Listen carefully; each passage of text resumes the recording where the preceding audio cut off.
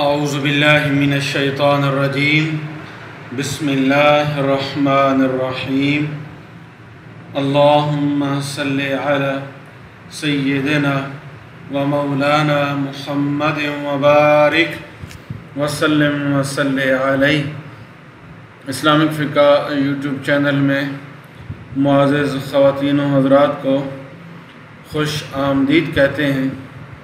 اللہ تبارک و تعالی نبی پاک صلی اللہ علیہ وآلہ وسلم کا صدقہ، آپ کی آل، اولاد، اصحاب اور خلفاء کا صدقہ، آپ تمام بھائیوں، بہنوں اور بیٹیوں کو خوش و خرم رکھے اور اللہ تعالیٰ دین اور دنیا کی بھلائیوں سے، عزتوں سے بھی مالا مال فرمائے۔ آج کی اس ویڈیو کے اندر جو وظیفہ لے کر حاضر ہیں وہاں وہ وظیفہ ربیع الاول شریف کا پہلا بدھ کا جو ڈے ہے، اس دن کا یہ خوبصورت سا عمل ہے۔ اور صورت الکوثر شریف جو قرآن کریم کی مختصر ترین صورت کہلاتی ہے، اس صورت کا یہ عمل ہے۔ عمل کرنے والے کی قسمت جاگے گی، نصیب مقدر بلند ہوگا۔ اللہ تعالیٰ عزت، شان و شوکت، یہ سب نواز سے مالا مال فرمائیں گے۔ ربیع نور شریف کا مہینہ جو عظمتوں پہ مبنی ہے، فضیلتوں پہ مبنی ہے اور جو عظمتوں پہ مبنی ہے، اس مہینے کی بابرکت جو لمحات ہوتے ہیں، بابرکت گھڑیاں ہوتی ہیں، ان کے اندر کی جانے والا وظیفہ، کی جانے والی دعائیں وہ قبولیت کے درجے پر پہنچ جاتی ہیں۔ تو دیر نہ کیجیے یہ مواقع بار بار زندگی میں انسانوں کو نہیں ملتے۔ اللہ تعالیٰ نے کرم فرما دیا ہے۔ تو اس موقع سے اسے غنیمت سمجھیں اور اللہ کا شکر ادا کرتے ہوئے اللہ کے حضور حاضر ہو جائے موسیٰ علیہ السلام کی قوم کو اللہ نے فرعون سے نجات دی تو اللہ کریم نے فرمایا کہ موسیٰ علیہ السلام انہیں اچھے دن یاد کراؤ، انہیں اللہ کا انعام اور اللہ کا فضل یاد کراؤ۔ تو نبی پاک صلی اللہ علیہ وسلم چونکہ تمام انسانیت کے لیے رحمت للعالمین بن کر اسی مہینے میں تشریف لائے، تو یہ مہینہ بہت ہی خاص ہے اور ہمارے لیے بھی وہی حکم ہے کہ جب تمہیں اللہ کا فضل پہنچے تو خوشی منایا کرو، اللہ کی نعمتیں ملیں تو خوشیاں منایا کرو۔ تو وہ خوشی اللہ کے ذکر سے، درود پاک کے ذریعے، قرآن کی تلاوت کے ذریعے، نیکی کے اعمال کرنے کے ذریعے، صدقہ اور خیرات کے ذریعے خوش خوشی کا اظہار ہم کریں تو ہم اللہ اور اس کے رسول کی بارگاہ میں ہمارا عزت، مقام وہ جو ہے بڑھ جائے۔ صورت کوثر شریف کے کیا فضائل ہیں؟ یہ آپ اچھے طریقے سے جانتے ہیں۔ یہ صورت نبی کریم صلی اللہ علیہ وسلم پر کس موقع پر نازل ہوئی؟ اس کی فضیلت کیا ہے اور اس کا ذکر کرنے سے اللہ پاک اس دنیا میں کیا برکات نازل فرماتے ہیں اور آخرت میں اس کا کیا اجر و ثواب رکھا ہے۔ قرآن کریم کی یہ چھب سب سے چھوٹی صورت ہے جس کے بارے میں مشہور یہی ہے کہ یہ صورت مکی صورتوں میں سے ہے۔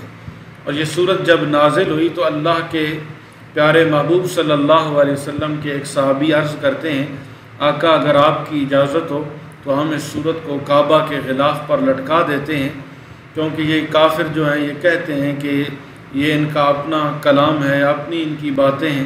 تو نیچے ہم لکھ دیتے ہیں کہ اگر اس جیسا کلام ہے تو وہ لے آؤ، یا اس جیسی صورت لے آؤ، یا اس جیسا اس کے ساتھ مقابلہ کیا جائے۔ تو وہ تین مہینے صورت الکوثر کی کلمات، آ صورت لکھی ہوئی کعبہ کے غلاف پہ لٹکا دی گئی، لیکن کسی میں جرت نہ ہوئی کہ وہ اس صورت اور وہ جو حسن عبارت ہے، وہ جو رب کے کلام میں چاشنی ہے، وہ جو پڑھنے میں، لکھنے میں، سننے میں جو لطف ہے، وہ ایسا کلام لانے سے عاجز رہے۔ اور پھر کہنے پہ مجبور ہو گئے کہ یہ کلام کسی عام بندے کا نہیں ہے، یہ کلام ہے تو رب العالمین، جو وحدہ لا شریک ہے، جو ہماری حاجتوں کو بھی پورا فرماتا ہے، یہ اسی رب کا کلام ہو سکتا ہے۔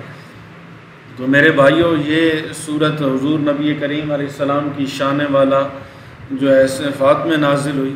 اور اللہ تعالیٰ نے اس صورت میں اپنے نبی صلی اللہ علیہ وسلم کو اطمینان کی دولت سے مالا مال فرمایا۔ اور اللہ فرمایا کہ اللہ نے آپ کو ایک ایسی عظیم نعمت سے نوازا ہے جو کسی نبی یا رسول کو بھی عطا نہیں کی گئی۔ حضرت انس بن مالک سے نقل ہے رضی اللہ تعالیٰ عنہ۔ حضور صلی اللہ علیہ وسلم ہمارے درمیان تشریف فرماتے، اتنے میں آپ صلی اللہ علیہ وسلم کو کچھ اون وسیع تاری ہوئی۔ پھر آپ صلی اللہ علیہ وسلم نے مسکراتے ہوئے سر مبارک اٹھایا۔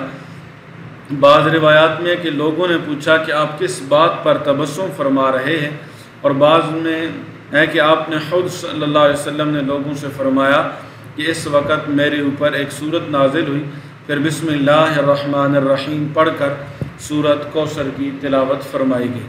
اس کے بعد آپ صلی اللہ علیہ وسلم نے پوچھا، جانتے ہو کہ کوثر کیا ہے؟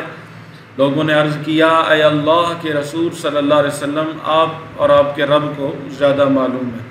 فرمایا، وہ ایک نہر ہے جو میرے رب نے مجھے جنت میں عطا کی ہے، جس میں بہت خیر ہے اور وہ حوض ہے جس پر میری امت قیامت کے دن روز پانی پینے کے لیے آئے گی۔